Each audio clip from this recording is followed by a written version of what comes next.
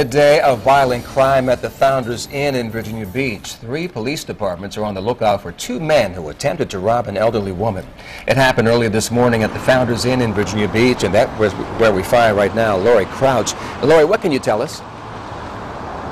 We're told that CBN, Regent University, and Virginia Beach police are on the lookout for two men who tried to rob a woman as she left the Founders Inn early this morning. We're going to give you a live picture now of the Founders Inn. The scene quieted down considerably. We're told this happened around 6:40 this morning. Police say two men approached an elderly woman coming out of the hotel. One grabbed her arm and tried to rob her. One stood back as the lookout. The woman refused to hand over anything. Both men ran off.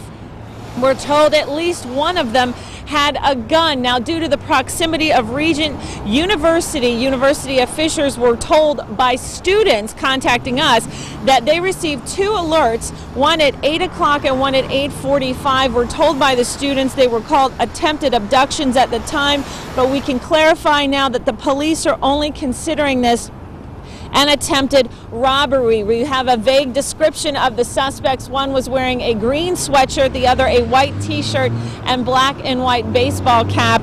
If you have any information, you're asked to call the Virginia Beach Police or Crime Line at 1-888-LOCK-YOU-UP. In Virginia Beach, I'm Lori Crouch, 10 on your side.